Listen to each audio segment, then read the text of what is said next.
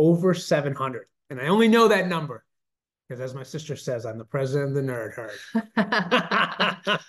How about in the last 12 months? the How many last 12 outlets? months were over 30. And I want to welcome everyone to another edition of Coffee with Tom and Joanne. I'm Tom Matthews. And I'm Joanne Taranto. Today we just wanted to talk a little bit about our experience in transaction in transaction volume because you know a lot of brokers can say they sell millions and millions of dollars of homes, but how many transactions is that? It is in the nitty gritties, doing the negotiation and closing deals where you strengthen your skill set. 100% because we're in a market like Concord where the median median sales price is like 1.5 million.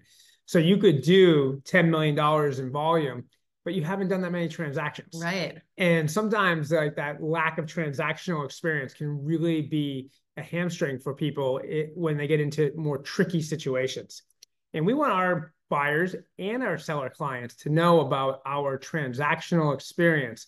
Because if you're thinking about hiring people right now, whether you're trying to sign a buyer's contract or a seller contract, you should be asking your agent, how many homes have you sold in your career?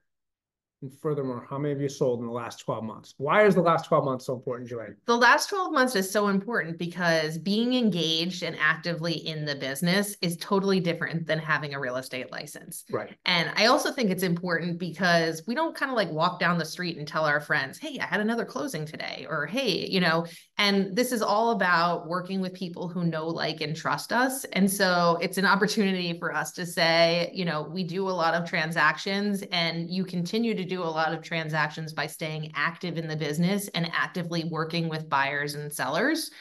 And so, what we're trying to do as a team is not to sell every house in the market, but we sharpen our skill sets a little bit more on every single transaction.